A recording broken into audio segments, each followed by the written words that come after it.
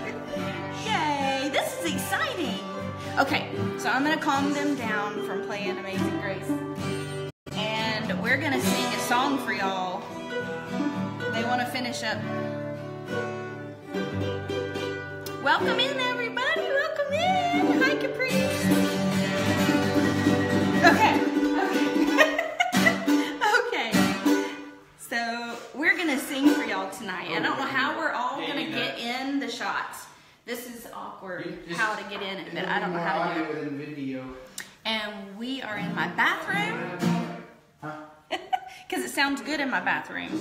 So we're gonna be in here tonight and sing, and my kids are like, they don't even realize that all y'all are on live. They're just kind of, they're doing their thing because I want them to come sing. So I don't know what my son is doing. He's putting up his ukulele. So hey, I know you guys are all there. I don't care. Welcome to Monday night. Say hey to everybody. Hey everybody. This Hi. is Charlie. Hey. This is Mac. And we're going to sing a song for y'all. I didn't even have to twist their arm or, or they didn't get mad at me or anything. That was awesome. So we're going to sing a song for y'all tonight. We've done all kinds of music on this um, live every Monday night. We've gone anywhere from Kirk Franklin to um, People & Songs to Brooklyn Tabernacle to everything in between. And we are going to sing tonight for y'all a Southern gospel song. Some of you are Southern gospel fans and y'all are going to be like, woohoo! And some of you are going to be like, Southern gospel, what is that exactly? So it's just another style of music praising Jesus. So that's what we're going to do. We're good. They just keep y'all up. They don't understand that we need to all leave it alone, right? Okay. Well, we're, we're fixing it. We're going to excuse them. for Li- doing lives have technical difficulties. Thank y'all for putting up with us. Okay, so we're going to sing for you. I don't want to sit down. I like to stand Okay, down. well, you want to? It'll be fun. Yeah, it's gonna be fun. So we're gonna sing. All right. Max, go start. Oh, here we go.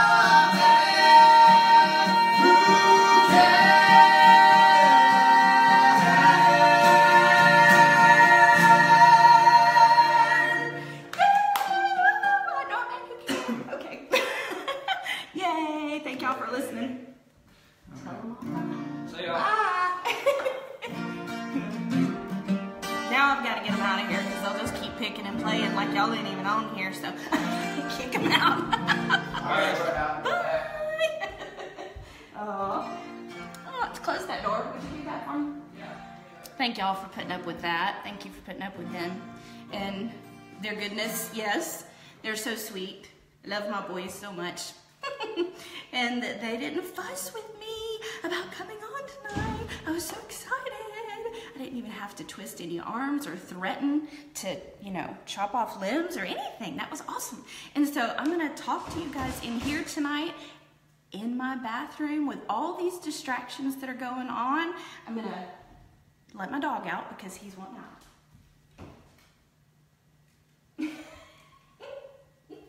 Y'all, this is a distracted night.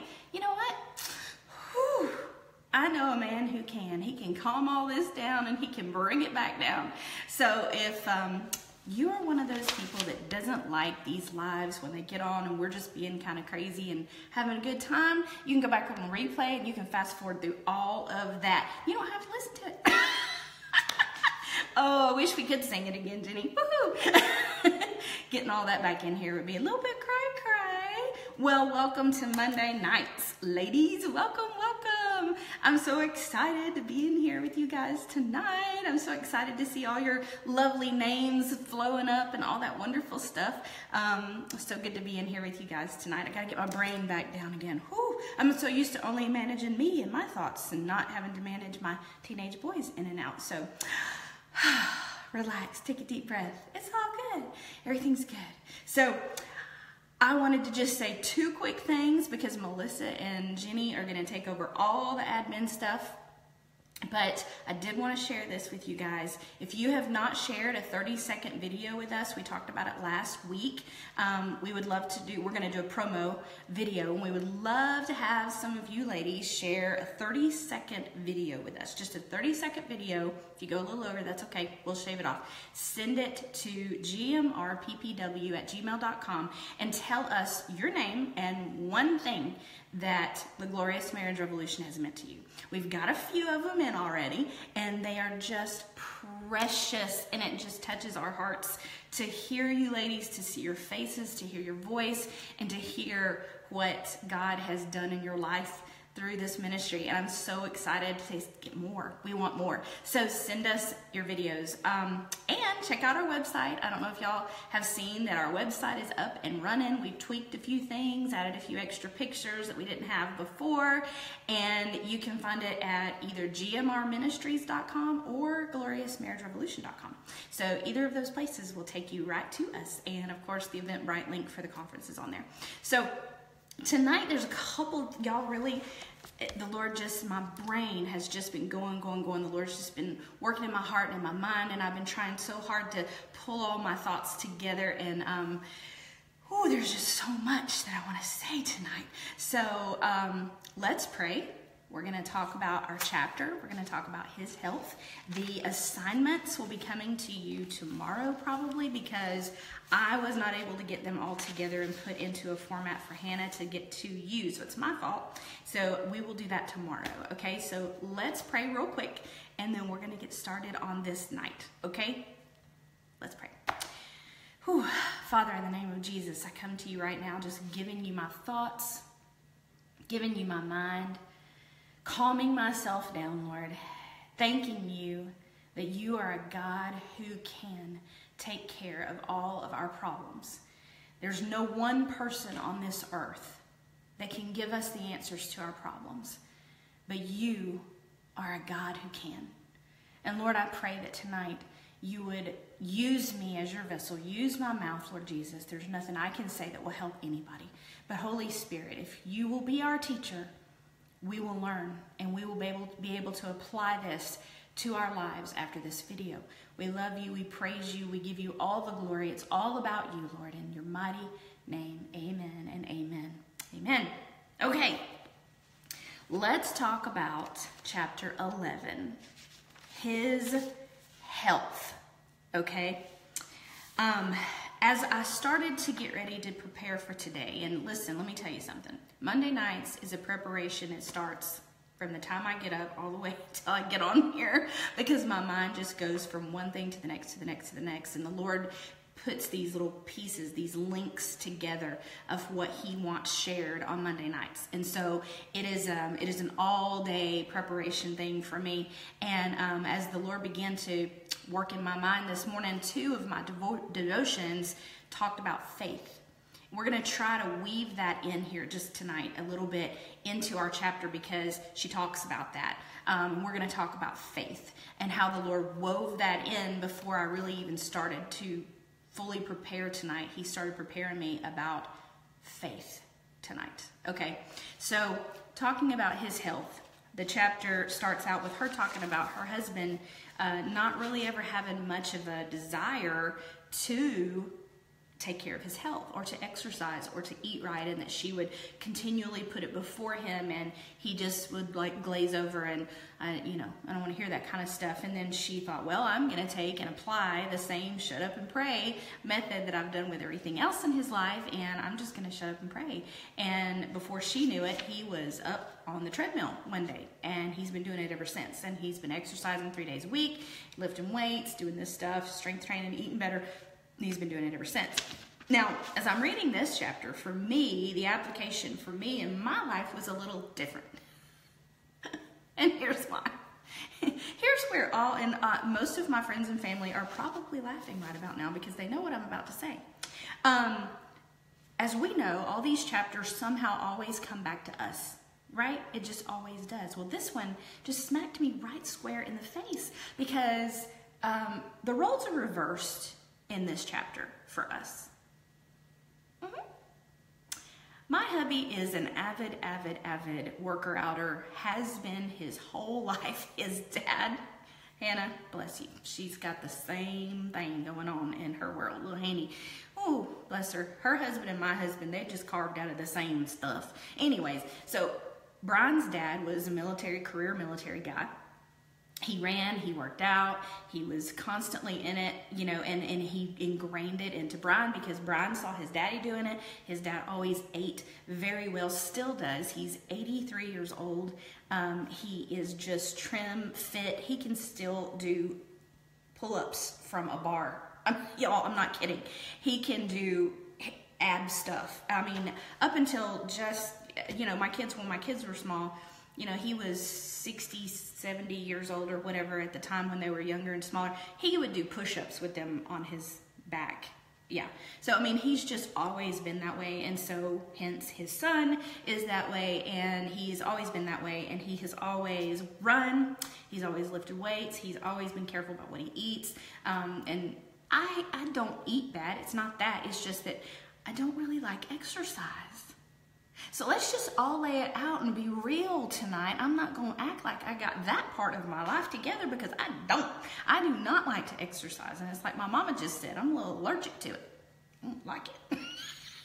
so probably Brian could teach this chapter better than I could teach this chapter because I'm sure that he's been praying for me for the last 27 years that I would get the want to to exercise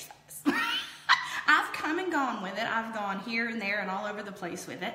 I have, I actually taught uh, an aerobics class at my church years ago. I, I was part of um, this little group called Body and Soul Aerobics, and we did aerobics to um, Christian music. And I actually went to a, a, a conference thing in Maryland and got taught all this stuff about teaching aerobics and I came back and brought it to my church and I taught aerobics and I was all Miss Bouncy and woohoo and I still I, I do still enjoy fun stuff like that. However I just don't choose to get up and do it every day. So anyway um, on to the next thing. I'm not real good about all that but anyways as she's talking about praying for our husband's health it isn't just about exercise. It yes, we do all need to take care of the temple God has given us. I say all that to be funny and I'm I'm I'm not making light of the fact that we really do need to take care of our bodies. And the older I get, the more I'm aware of that because I just was never in a place in my life where I really had to think about it earlier on in my life. I was always getting as a little toothpick and never really thought about it. Um, but as you get older, you know, things start to happen. And so, you know, when other people tell you, you just wait till you get older, you just wait. And yeah, they weren't lying about that. So anyway, I have had to think about that in the last couple of years, and it's it's harder now than it used to be. Um, but it isn't just about the fact that we need to be taking care of ourselves, eating right, and exercising. Yes, we do, because we are the temple of the Holy Spirit, and this is the body that God created for us to be here on this planet, and we need to take the best care of it that we absolutely can. So I, I get that. I really, really do. So I'm making light of myself, I'm making fun of myself, but the truth of the matter is, is we really do need to take care of ourselves. And um, we want to be the best we can be for the Lord while we're here. And that means best physical condition we can be in as well because we can't live to our fullest if we're sick all the time. And um, when our bodies are healthy and we're exercising, we do just can do better for him. We can think more clearly. So, all that to say, to bring it back down to the chapter, it, it could be more than just you just wish your husband would exercise. It could be like some of you I know on here, for, names are popping into my head right now of your husbands who are very, very sick. Um, he's been in and out of the hospital. I know there's more than a handful of you that are coming into my mind right now that your husbands have been very, very sick and you're dealing with a lot of of things um, in your world. Um, okay, Trisha just called me out uh, about the planking thing. Yeah, sometimes I am. I'm just being real. and I have started yoga with my husband, so I'm kind of alternating between the two. So if I had to say, do I get up just raring to go and do all this every day? Nah, not so much. So I'm just real, y'all, and I just, I, mm, yeah. So I don't know about that whole thing about me and Melissa getting up and planking on the stage at the, mm-mm, y'all, that ain't gonna happen. Okay, okay. But I do still want to do it. I do still want to plank and I do still want to yoga. Back to the point. All right. So some of you, your husbands are really, really sick. And she talks about on, uh, well, your page may be different, but she says, um, Your husband's health is not something to take for granted, and neither is ours. Okay, I'm back back to being serious. No matter what his age or condition or ours, um, we need to pray for him to learn to take proper care of himself. And if he becomes ill, pray for him to be healed. And this this goes back to us too. Pray that we'll have a desire to exercise and to eat right and to do right um, and to take care of ourselves for our men and for them to do it for us as well. She says here, I've seen too many answers to prayers for healing in my life and the lives of others to doubt that the God who healed in the Bible is the same yesterday, today, and forever. And that is so very true. She says, I believe that when God said, I am the Lord who heals you, he meant it. Amen. So do I. So do I. Then she says, I have the same faith as Jeremiah who prayed, Heal me, O Lord, and I shall be healed. I trust his word when it promises, I will restore health to you and heal you of your wounds. All of those scriptures are listed in the chapter. Go back and look those over.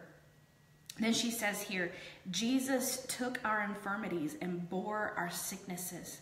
He gave his disciples power to heal all kinds of sickness and all kinds of disease. These signs will follow those who believe, that they will lay hands on the sick and they will recover. It seems to me that God is interested in healing, and He didn't put a time limit on it, only a faith limit. Now, let me say this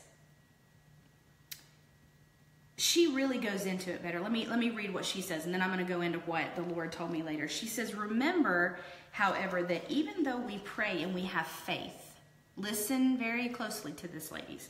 The outcome and the timing are God's decision.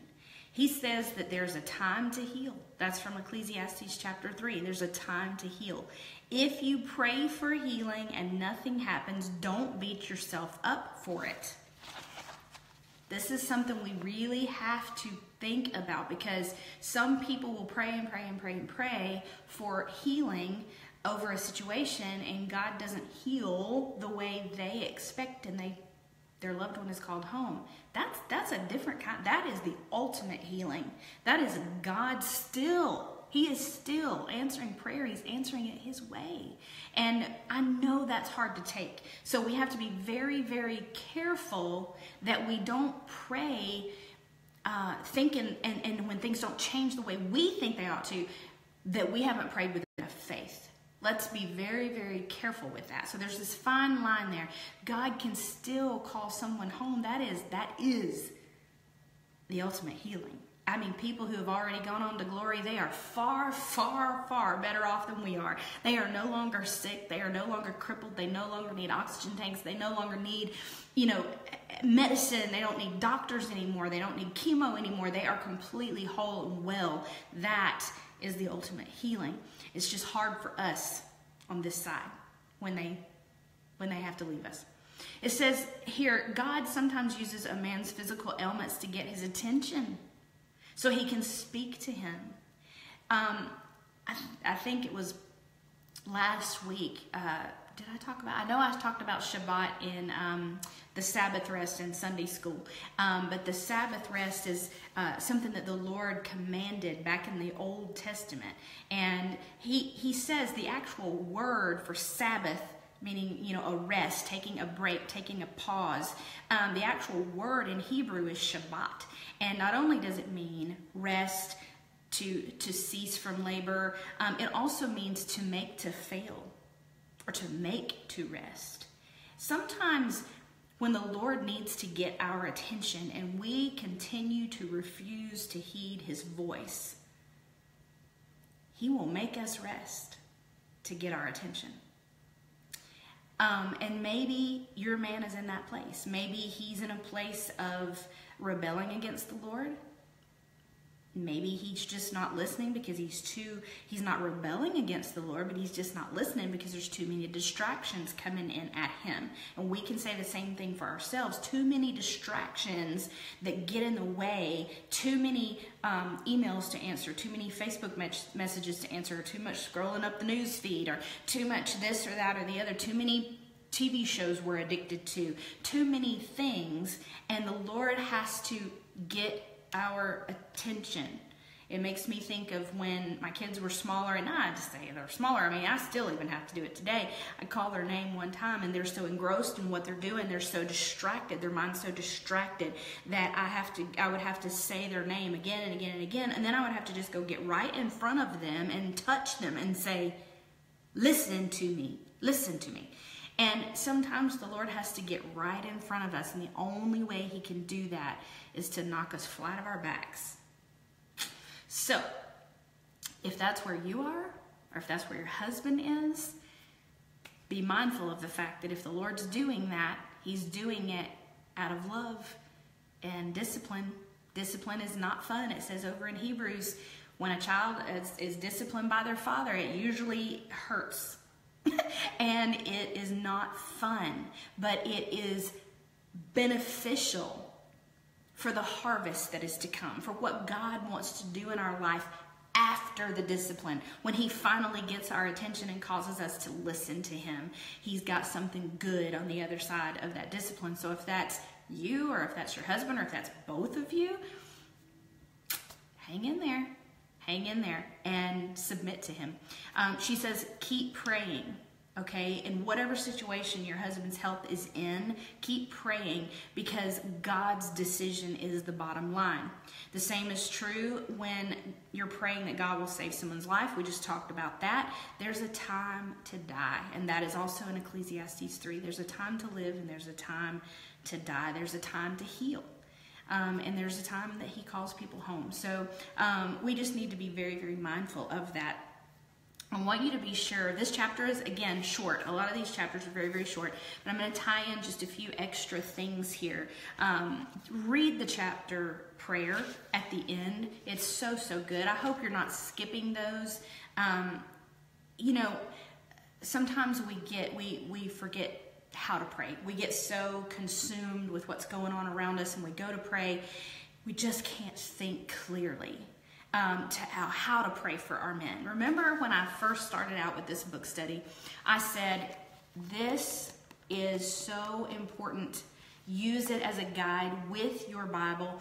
Use it and ask the Lord, where do you want me to pray for my man? Like, what areas of prayer does my husband need prayer in? And then you go back and pray. Some of you have sent me messages uh, just in the last couple of days about you know things with your husband's work or this or that is happening. And i'm like hey you know go back go back to that chapter. Don't forget about that chapter. We talked about that. Go back and pray uh, through that. Um, doesn't mean you got to read the whole chapter again. Just go back to that prayer and say lord use this as my prayer. Help me lord. I can't i can't have all the, the words i don't have all the words but i'm going to use this it's from my heart so that's what we need to do is utilize this now there's a scripture, she always gives the power tools at the back of the chapter. Um, there's a scripture that um, I'm going to kind of tie in something from my Sunday school class yesterday. Um, it was, and I just wanted to say, I had one of our 11,000 girls come to my Sunday school class yesterday, Jessica Thaxton. It was so great to see you and your man and to meet you guys. Um, if any of y'all live in our area and you want to come in and come into my Sunday school class and meet me and hug my neck, would you please do it? Would you please come and meet me? Um, I just would love to wrap my arms around you and to hug you, um, to have you in my class. Oh my gosh, how amazing would that be? Um, some of you have even asked if we could do like a live through live stream of my class. I would love that if the Lord worked out a way for us to do it. Um, we have we're in concrete walls, so it kind of is like yuck. But if the Lord ever opened that up, I would totally, totally do that. Um, if you guys, you know, we'll pray. We can pray whatever the Lord's got, and if He wants to, to open that door, we will walk through it. Okay, so one of the verses at, in the power tools at the end of the chapter was Psalm 103. And when I, I know Psalm 103 pretty well, but I went back and I looked at it, and I'm using the Amplified Bible tonight. Okay, I told y'all a lot of times I, I hop around and I use different translations, and um, tonight I'm in the Amplified Bible. And sometimes, man, the Amplified Bible is just amazing. it's just amazing, and it just puts things in such a vivid way. Um, it's just amazing. It's amazing. So, if someone who's one of my peeps would please answer, I believe it was Amy, somebody, I'm sorry I missed your name, where we go to church. If you would put that in the comments, I would love you forever. Okay, so um, Psalm 103, and it was verses 2 and 3, but we're going to start from the beginning. It says, Blessed Aff- no, bless, affectionately, gratefully praise the Lord. Bless the Lord. That's how it, says, talks about it in the Amplified. O my soul, and all that is deepest within me, bless his holy name. Bless, affectionately, gratefully, praise the Lord, O my soul, and forget not one of all his benefits, who forgives every one of all your iniquities who heals each one of all your diseases, who redeems your life from the pit and corruption, who beautifies, dignifies, and crowns you with loving kindness and tender mercy. Oh my goodness, that was the, oh, so, okay, here's where we're headed with this. If you were in my Sunday school class on Sunday, you're going to know exactly where I'm going with this because it says, Who redeems your life from the pit. Can I just tell you, I know that many of you are in a pit because your marriage is in a pit. When your marriage is in a pit, you're in a pit, okay? Sometimes you just walked right off into the pit all by yourself. Sometimes you got kicked off into the pit because someone else's choices, like we talked about last week, choices. Sometimes they were of your not of your own making. Sometimes they were of your own making. Sometimes you had a lot to do with it. Choices oftentimes there's something that I have heard my mom and dad say through all the years that I've been grow that I grew up in their home and even outside their home where marriages would be crumbling, things would be falling apart, mom and dad would always say, There's always two sides to every story. Everybody has a part to play in destruction. There was somewhere along the way, if you backpedal back and you look back and see the little things that all lined up to make those wrecked choices happen, what went wrong somewhere? What could have been happening that you could have done differently. I'm not saying that some of the choices that your husband made that were really destructive was of your making. I'm not saying that. But somewhere along the way, it was a slow fade. Do you see where I'm going? Don't get offended at me and don't get mad. Hear me out. It's a slow fade because somewhere in your past, you truly loved each other and you truly fell in love with each other, you wouldn't walk down the aisle and said, I do. You wouldn't have gotten married. You wouldn't have picked him. Somewhere along the way, that faded. Where did it fade? What happened? Go back and find what happened and begin to pray from that place. Pray from that place and find out what God wants you to do to change you first. We talked about that in the very first chapter. We got to keep going back to that because honestly, it always comes back to us somehow that we've got to. I don't want to say this and make it sound like it's our fault because it's not our fault. We got to take care of us. We've got to be accountable for us. We will not stand before the Lord one day and answer for our men no matter how foul their choices were. We will not stand before the Lord and answer for them. We have to get ourselves right with the Lord, and then that begins to change the way we pray for our men. We've talked about that this whole entire time, okay? So here's where I want to go with this the pits that we can find ourselves in sometimes.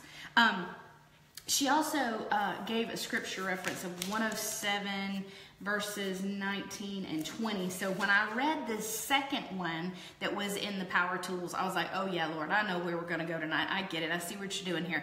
Okay, so Psalm 107 verses um, 19 and 20, it says this, Then they cry to the Lord in their trouble, and he delivers them out of their distresses. He sends forth his word and heals them and rescues them from the pit and from destruction. Okay? Now go over with me to Psalm 40, okay? Psalm chapter 40. We're going to read the first five verses, and then I'm going to talk about the pit for just a minute, okay? We're not going to go quite as deep into it as we did yesterday in Sunday school, but we are going to go into it for just a minute. Let me get my notes back up here in just a second. Okay, I waited patiently and expectantly from the Lord. And he inclined to me and heard my cry. He drew me out of a horrible pit, a pit of tumult and destruction, out of the miry clay, froth, and slime. If you were in my class yesterday, you're grinning by now and set my feet upon a rock, steadying my steps and establishing my goings. And he has put a new song in my mouth, a song of praise to our God. Many shall see and fear. They will revere and worship and put their trust and confident reliance in the Lord. Blessed, happy, Fortunate to be envied is the man who makes the Lord his refuge and trust and turns not to the proud or to followers of false gods. Many, O Lord my God, are the wonderful works which you have done, and your thoughts toward us no one can compare with you. If I should declare and speak of them, they are too many to be numbered. All right, let's dig in. And oops, sorry, I pulled my cord. Let's dig in and let's talk about this for just a second. So I'm going to turn my page over and go back to my notes for just a second. Okay, so the pit. When it says that the Lord inclined his ear to me, that means that he stretched forward. He bent forward to hear me. To hear me with intelligent attention. That's what the word heard means. He, lent, he leaned forward, he stretched forward to listen to that cry that you had of, Lord, I can't do this anymore.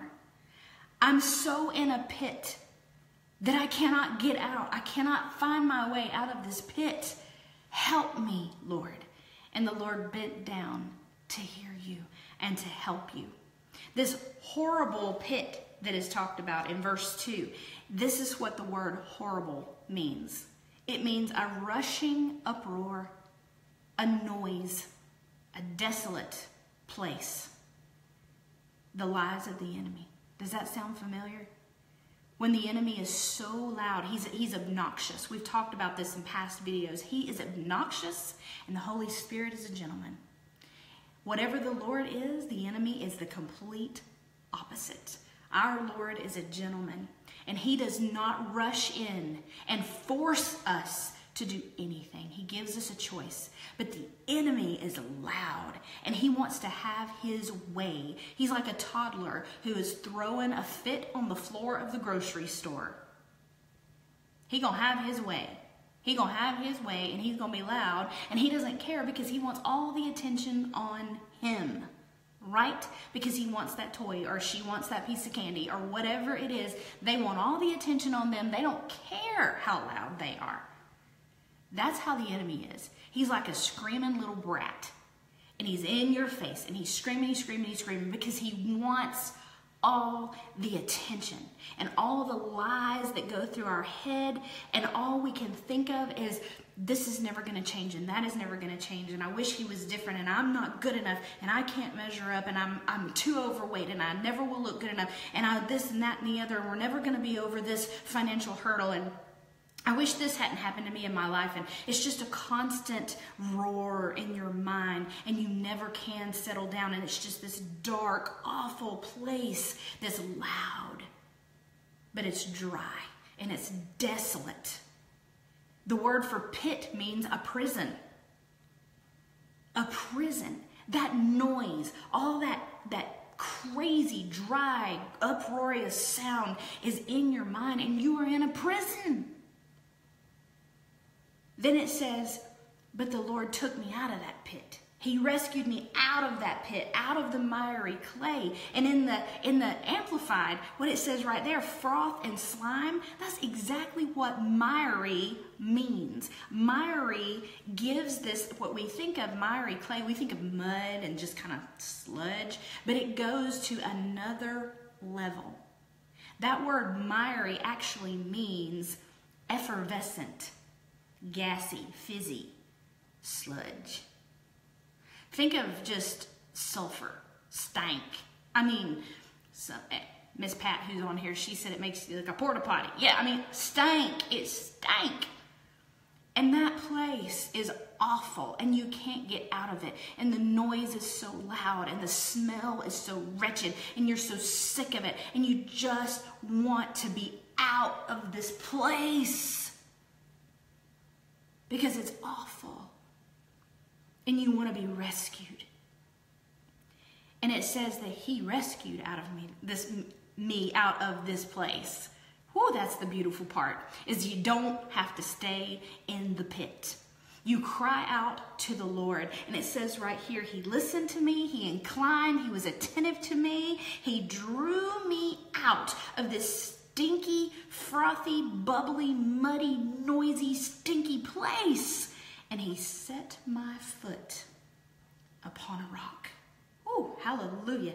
That's the word to set means to actually to make everything clearer, to rise up and to help, to lift up again to rouse up and to give strength. That's what that word set means. He set you up on a rock. That rock means a high and lofty place, this beautiful place up safe away from all the dangers in the valley. The Lord reached into that nasty, stinky place and He cleans you off and He sets you up high up on a rock so that nothing can get to you. He puts you in the cleft of his arm, in the cleft of his wing, under the shadow of his wing. And then it says here, He established my going. He established my going. The word established means to set up, to prepare, to appoint, to be certain. He is faithful. That's the next word in the definition of that. He's faithful and he has fashioned a plan for your life. He has fitted a plan for your life. So he takes you out of that nasty pit and he sets you up on a rock and he says, I have fashioned this beautiful plan for your life. And the next steps that you're about to take are going to be new and they're going to be different. I am doing a new thing because I have fashioned this beautiful plan for your life, and it was never, ever, ever for you to be in that pit in the first place. Whether you dove off into it yourself or somebody kicked you off into it, it was never for you to be in that pit. My plans for you are good. My plans for you are this. The word going means steps. So he established your steps, but listen to this it means to be straight, to be level to be happy, to prosper. That's what the word goings means. He's saying, I have fashioned this plan for you to be happy. For you to have this path that's level and straight and prosperous. It is my plan for you to be called blessed. Whew, hallelujah. He has a plan for us to be blessed. He does not plan for us to stay in the stinky prison. He has plans to take us out and to set us on a new path. That word new means a fresh new thing. That's what it means. It means to completely rebuild. Oh, can I just tell you that I don't care where your marriage is right now. I don't care how deep and dark and nasty it is right now. I don't care if your husband is walking a thousand miles away from Jesus and it doesn't seem like he's ever going to get saved.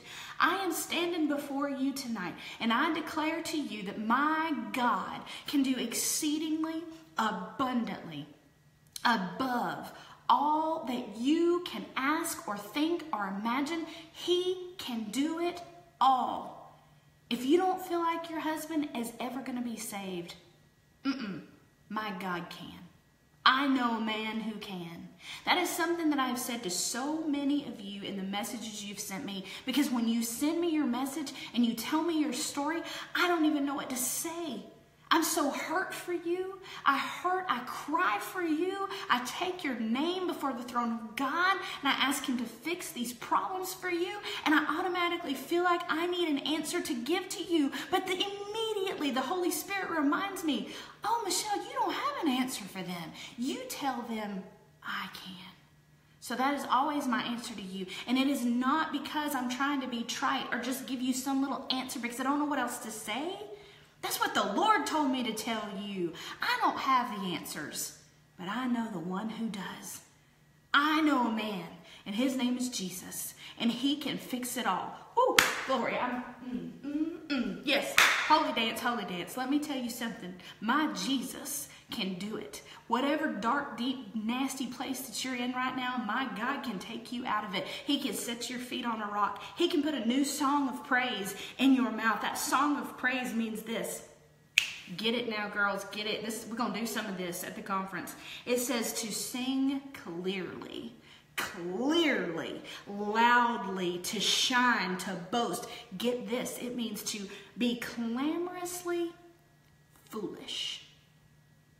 Mm being foolish and not caring what anybody else thinks about you and your praise, not caring what the person sitting next to you in church thinks, not caring what your family thinks. You're going to walk through the house, you're going to be praising the Lord, you're going to be singing. I know a man who can.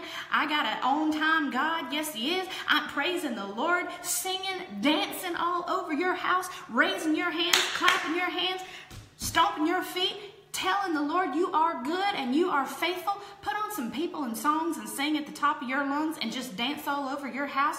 Get you a song that you feel like you can dance to and give praise to the Lord. That's what that means. He took you out of a deep, dark place. He put you up on a rock. He put a new song of praise in your heart. You better sing that praise, sister. You better sing that praise back to the Holy Spirit. You better sing that praise back to the Father because He's the one that took you out of that pit. Hallelujah. Glory to God. You better sing that thing, girl you better sing that thing. Mm, mm, mm, mm. And it says too that his works are too wonderful. His thoughts toward us are not like any thoughts that anybody has ever thought toward us because he's not human. He is he is the everlasting God who created this universe. He doesn't have a beginning and he doesn't have an end. He is from everlasting to everlasting. He is eternal and his thoughts towards us are not anything we could ever think because our thoughts are feeble at best, they are flawed at best, and He is wonderful and perfect in all of His ways. Let me tell you something. The enemy, I'm going to end it with this. The enemy has got such a hold on our minds in this world. And this is a revolution. I keep saying it. I'm going to keep bringing it back because listen to me, sisters. Listen to me. God wants to break the stronghold that we have over our minds that we're never going to get any better. Our husbands are never going to be saved. If they are saved and if they're in some deep, dark pit, they're never going to get out of it. Our marriages are never going to be healed.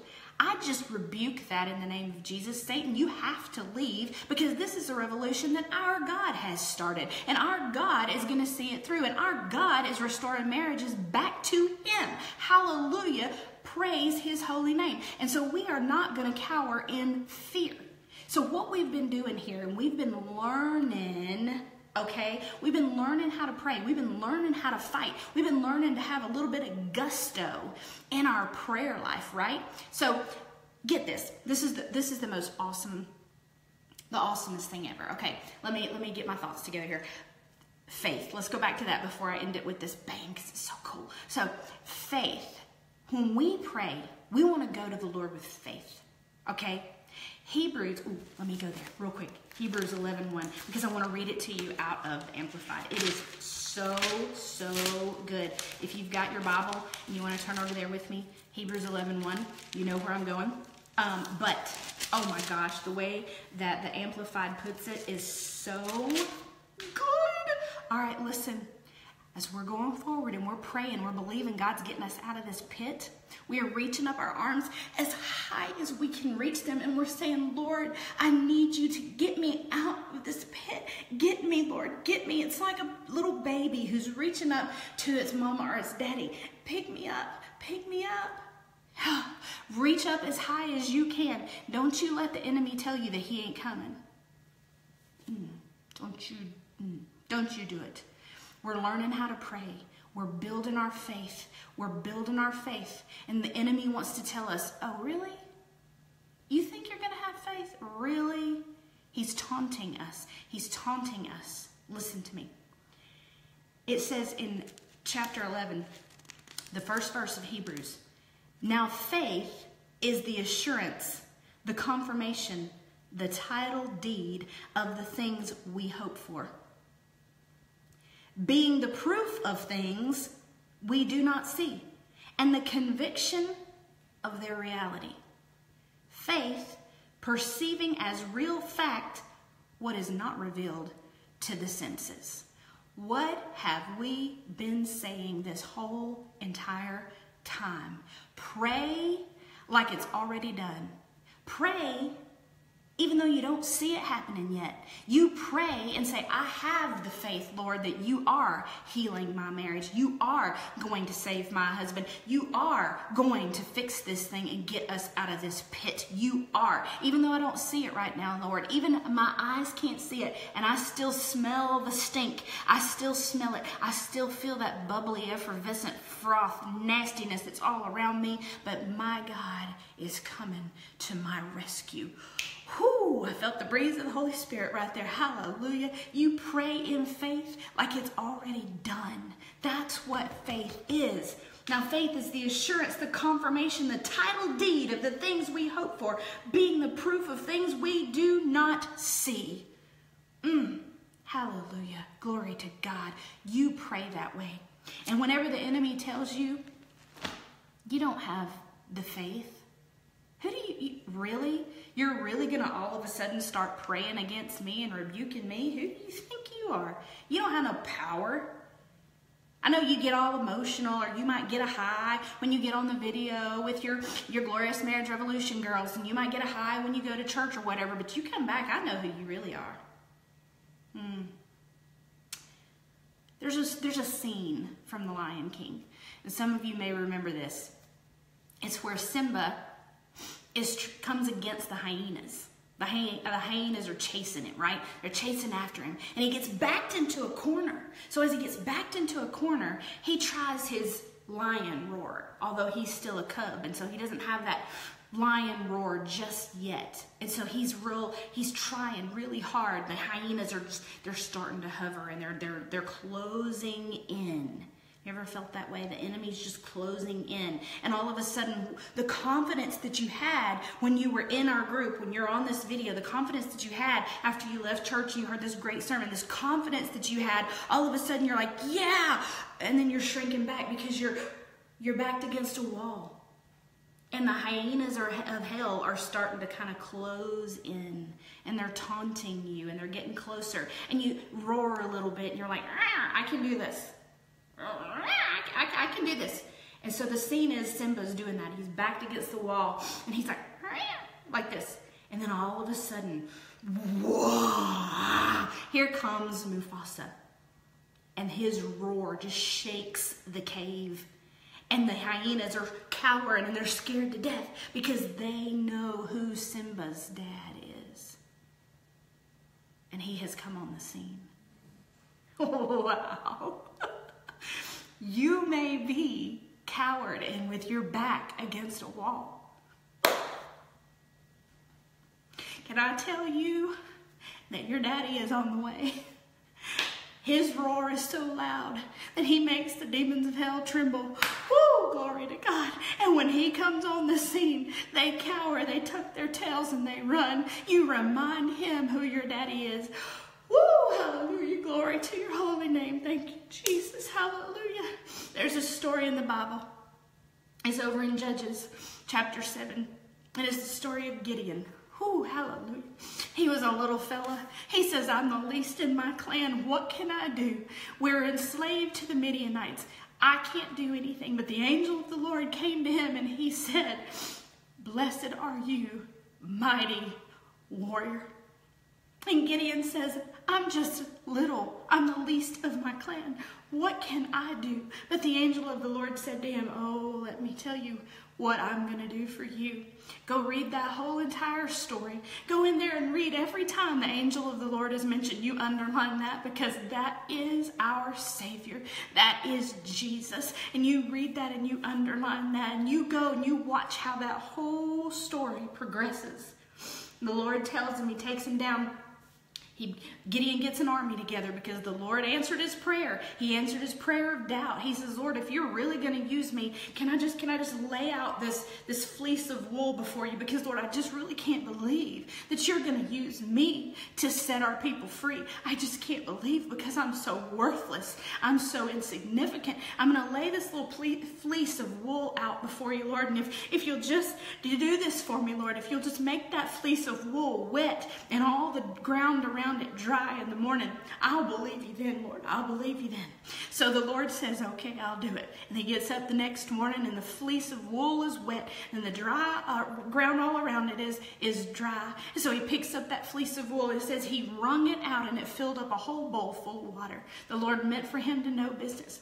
Well, little Gideon, he was still a little doubtful. He still just didn't quite believe that the Lord would use him to set his people free. Then he says, Lord, if you'll just give me one one, one more prayer, Lord. If you'll just listen to me one more time, Lord. Would you just now, I'm going to lay this out one more time, and would you let this fleece of wool be dry in the morning and all the ground around it wet? Then I'll really know, Lord. So the Lord said, It's okay. I'll do it. He didn't get mad at him for doubting. He didn't fuss at him for doubting. He didn't tell him, oh, you have little faith. He just did what he asked.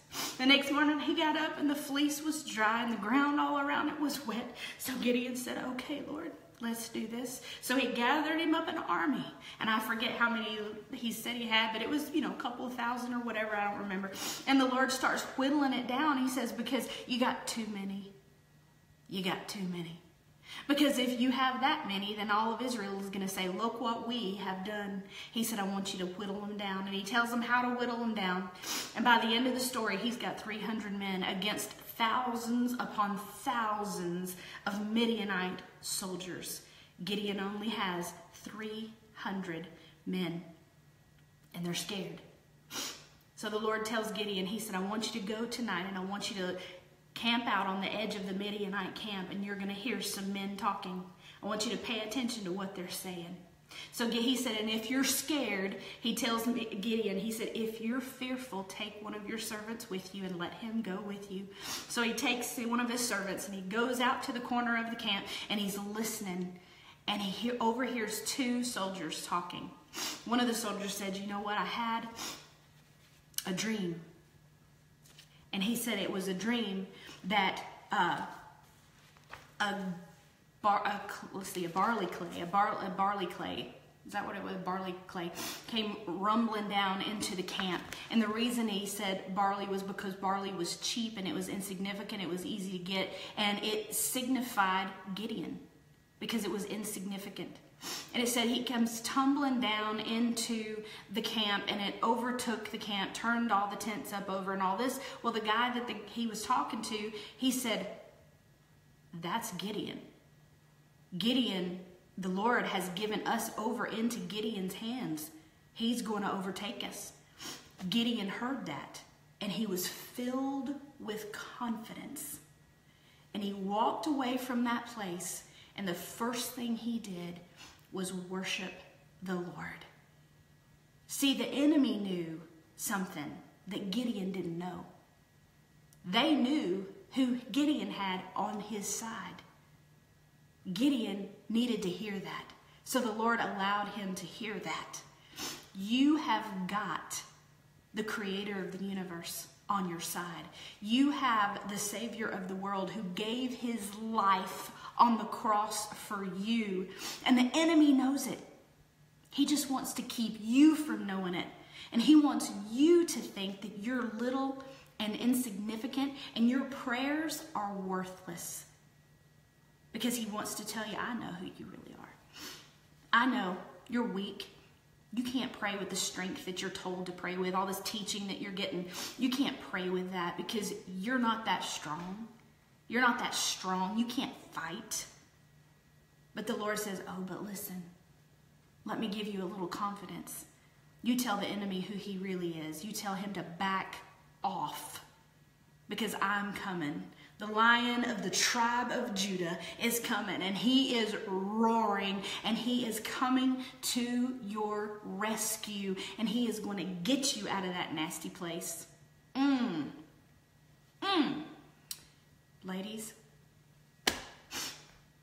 yes, we're talking about our husband's health, and let's tie it all back up together. Our health encompasses a whole lot more than just our bodies.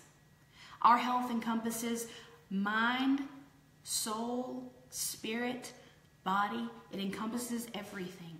And when our spirit and our soul and our mind is weak, we're just a target for the enemy. We've got to build up our strength through the Word of God, not anything that we do on our own. It's what He teaches us in His Word, the strength that comes from Him alone. Please be encouraged tonight. Please be encouraged tonight. You do have strength, but it only comes from your Father. And He's coming to your rescue. He is coming to get you out of that pit. He's coming to get you out of that stinky, bubbly, nasty place. And He's going to set your feet up on a rock. He's going to put a new song in your mouth. And when He does, you better sing it loud and you better sing it clear and you better be all kinds of foolish about it because our Lord is worthy of praise. Hallelujah. Glory to his holy name. Man, I love my Lord. Man, I love my Jesus. Hallelujah. Thank you, Jesus. I love you guys. Oh my goodness, don't you dare give up now. Oh, uh-uh. Don't you dare give up now. You've come too far to turn back. Do not give up. Change is coming. I promise change is coming. I promise because I know the one who can change it. You do. Have a glorious marriage. Love you so much. Good night.